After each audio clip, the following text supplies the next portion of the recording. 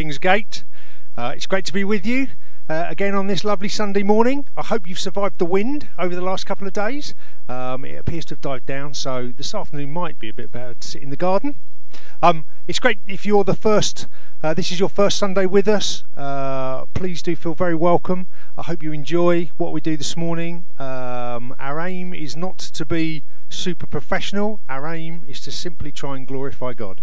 Um, so I would like to uh, start this morning uh, by handing over to Adele, who's going to lead us in worship. Adele, please lead us. Good morning. I just want to read something from 2 Timothy, and it says, He gave us resurrection life and drew us to Himself by His holy calling on our lives. And it wasn't because of any good we have done, but by His divine pleasure and marvelous grace that confirmed our union with the anointed Jesus even before time began. This truth is now being unveiled by the revelation of the anointed Jesus, our life giver, who has dismantled death, obliterated all its effects on our lives, and has manifested his immortal life in us by the gospel. So I just want to encourage us as we um, worship. We're just going to start by singing The Greatest Day in History.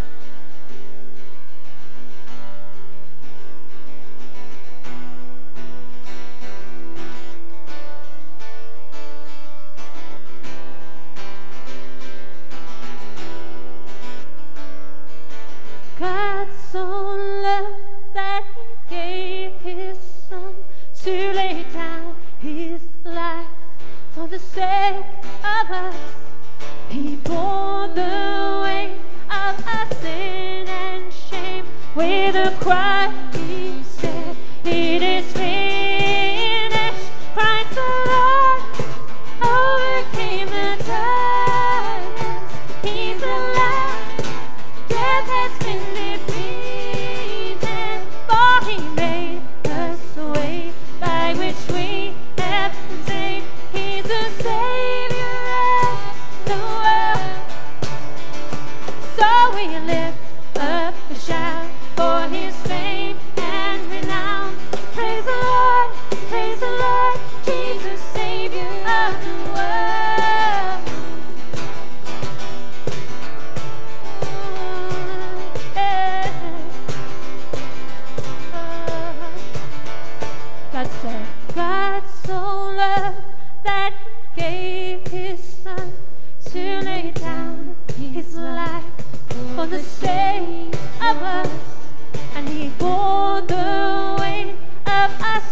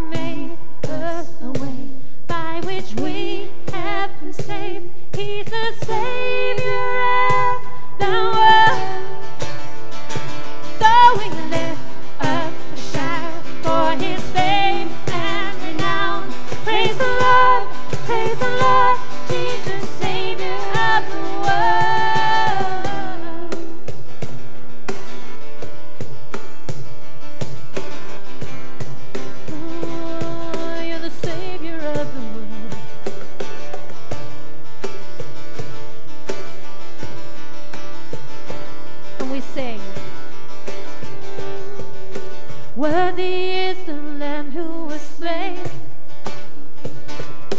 Worthy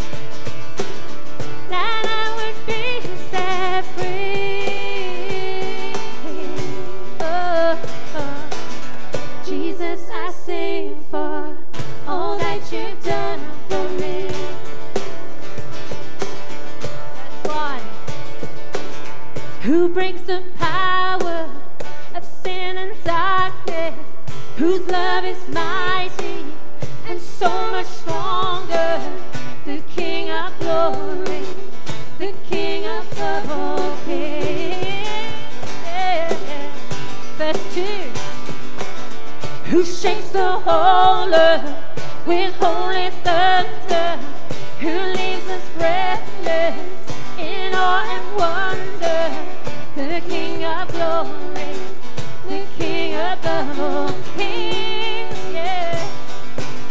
This is amazing grace.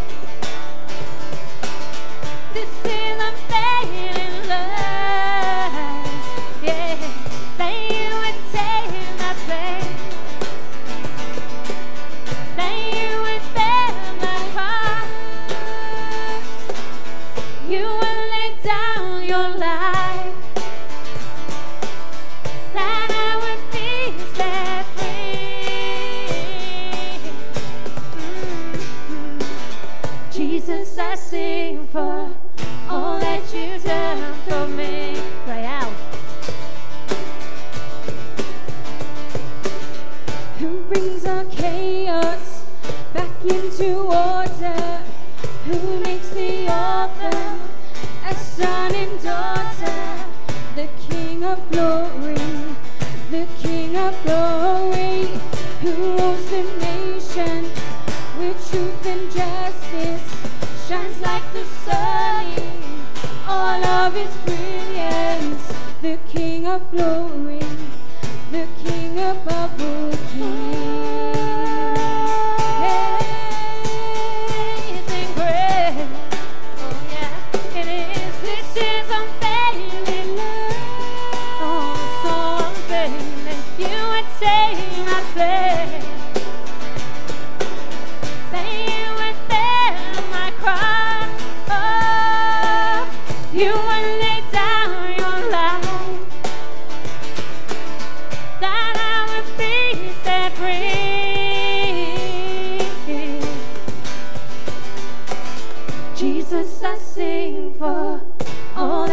you've for me.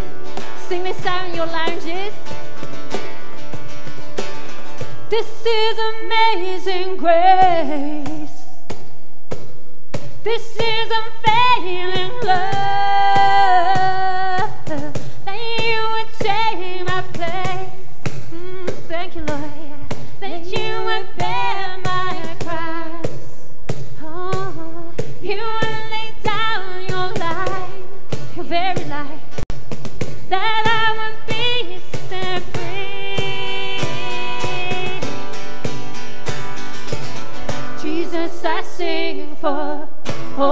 You've done for me. Jesus, I sing. Jesus, I sing for all that you've done for me.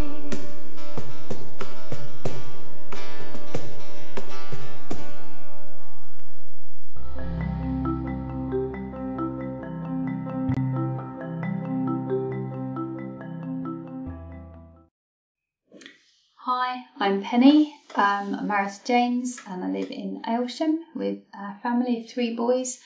And um, Adam just asked if I had anything prophetic that I felt um, that God would want to say to church in Great Yarmouth, to Kingsgate.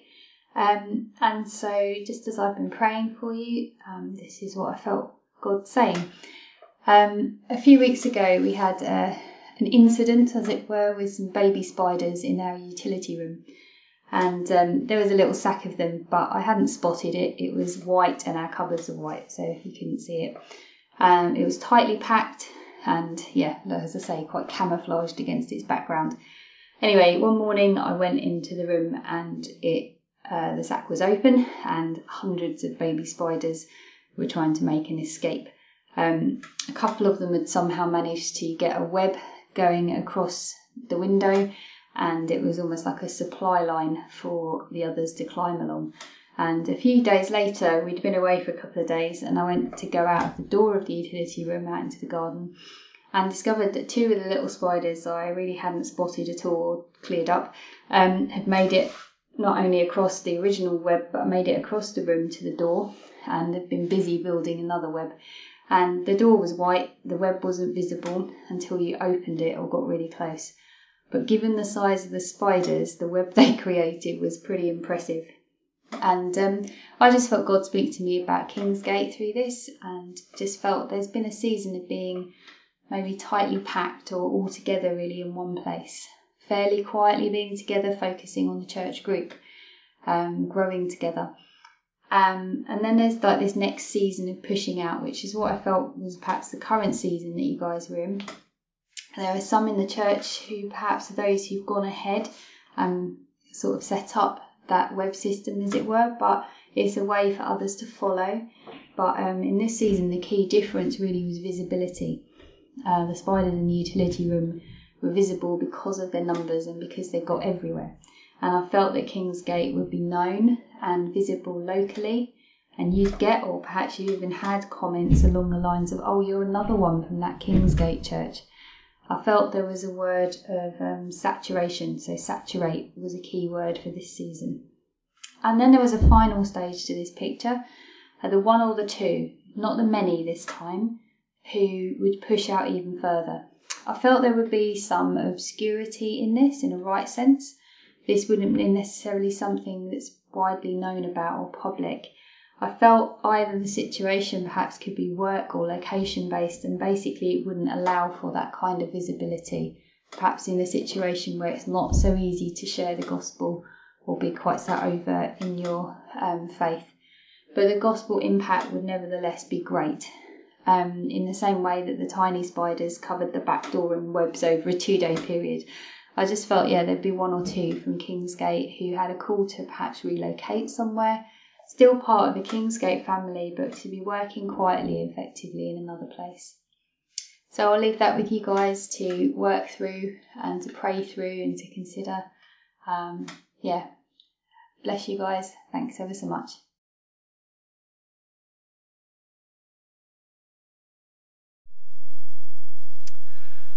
Thank you, Penny, for sharing that word with us. Uh, it is so good, isn't it, to uh, have these people from uh, other churches um, giving their time to pray for us and seek God's word for us. But it's so important that we weigh them. Um, it is so important that we seek for ourselves what actually God is saying through all of these different words. Um, and actually, yesterday I was uh, praying um, I didn't know what Penny was going to share this morning. I didn't listen to it until just before we, we started live streaming. Um, and actually, as I was uh, praying yesterday um, and just thinking about the last few weeks, really, um, I realised that, that God uh, had given me numbers of opportunities with some people outside the church, people who don't know Jesus, um, where he'd opened up conversations to be had with people going through some quite difficult times um, relationship break breakups. Um, some were grieving for, for lost ones, um, and actually, what uh, was overwhelming sense for all of them was a kind of a hopelessness. They had no hope. They had nowhere to go um, in their pain, in their difficulty. They were just left trying to cope on their own. And as I was praying yesterday, I just was, felt reminded um, by God of uh, a little phrase that uh, appears in Acts chapter 3, where Peter and John are going to the temple and they encounter someone who has no hope. Um, and, and, and the, Peter says, Silver or gold I do not have, but what I have I give to you. And it was the little phrase, What I have I give to you. And actually, as as I was listening to Penny's word this morning, although the sense of all those small, tiny little spiders um, getting around the place. On their own, they can do nothing. On their own, they're too small. But actually, it's the quantity of those small things um, that has the effect. And, and I just kind of felt stirred to, to share that actually I do wonder if, if God wants us to take seriously what we have um, in relationship to our friends, our work colleagues, our neighbours, our families who don't know Jesus, who actually themselves don't have hope. And in a minute, I'm going to hand back to Adele and we're going to carry on worshipping. But I would uh, encourage you to use this next song as a, as a response, really. Um, are you prepared to give what you have to those around you? Uh, are you up for God opening up conversations for you where you can share the hope and the goodness that you know um, from your relationship with Jesus to those that just don't have it? Um, and actually, as I've been thinking about it this morning, that picture of, of us, um, you know, 150, 160, 170, however many us is, actually in and around this area, just beginning to share a little bit with all those around us, actually felt a little bit like all those little spiders. Uh, just beginning to just drop into place and just beginning to, to create those little strings of web that God will use. So, please do respond. I'll hand back to Adele now and we'll continue to worship. Here I am to worship. Here I am to bow down. Here I am to say that you're my God. You're altogether lovely, altogether worthy, altogether wonderful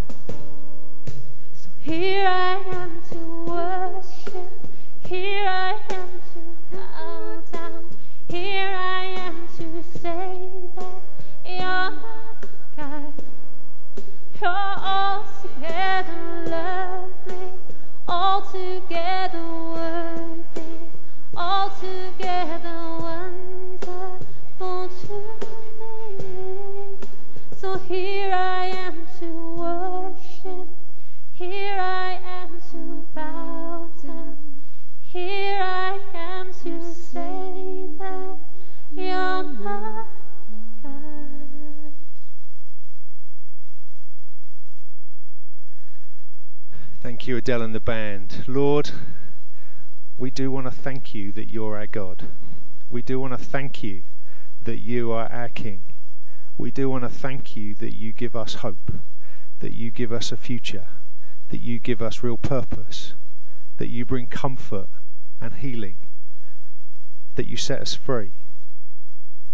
Lord Jesus, we just thank you for being who you are and for allowing us to know you, for giving us the, the great undeserved gift of life. Thank you, Lord Jesus. Amen. I hope that worship did you good. Um, before we uh, move to a slightly different uh, word this morning, um, I have a couple of notices. Um, just really simple. Um, for those of you who've been tuning in for a few weeks now, I'm sure you will be familiar with our little fellowship card. Um, if you haven't got one of these, you can email us and we can send you one, or you can call in at the uh, the church centre and pick one up. Essentially, what we're trying to encourage everyone to do is just meet up, be friends together over this summer season. Um, let's spend time with one another whilst we still have some restrictions. Actually, they're largely to do with big gatherings, small ones. Actually, most things can happen now um, as long as we're we're careful um, and, and, we stick to some some guidelines, some some simple guidelines. Actually, we can meet up. We can spend time with one another. So I would encourage you to do that um, over these next coming days and weeks. One thing I would say is don't wait for somebody to contact you to invite you out for a coffee or invite you round for a barbecue. Can I encourage you? Pick up your phone, um, call around someone, send them a text message, whatever way you want to communicate. Make the first move. If we all do that, we'll all be inundated with offers and invites. Um, if anyone would like to invite Lynn and I round for some food, that would be excellent because I, I ripped our kitchen out um, last Wednesday. So currently we don't actually have anything really to cook on. So obviously any barbecues and free food would be most welcome. I'll leave that with you. Um, uh, one final notice uh, just thank you to all those who are giving so consistently through this season. Um, it is so amazing when a church family uh, has a released wallet. Um, it is a real sign of God's grace among us um, and just that sense of dependency upon Him. Thank you so much for those who are giving consistently. If you're uh, new to Kingsgate and you're thinking, I don't know what even that giving thing's all about, please do contact us. Um, there are some details on the website, but feel free to email us at hello uh, at wearekingsgate.org um, and we can help you um, with first understanding why we give and why we love to give, um, but also then practically how. Obviously, one of the new ways that you can give is via text message. Uh, you can text Kingsgate, capital letters, give, and then a pound sign um, to 07380 307 800 text that to us. It won't automatically take money. All it does is it triggers a form coming back to you that you can then fill in. Um, so don't worry about uh, how much you're giving when you send the text message. You've got a little bit of time to work that out. I hope that's okay. So uh, I'm going to now hand over to we have an I'm grateful video.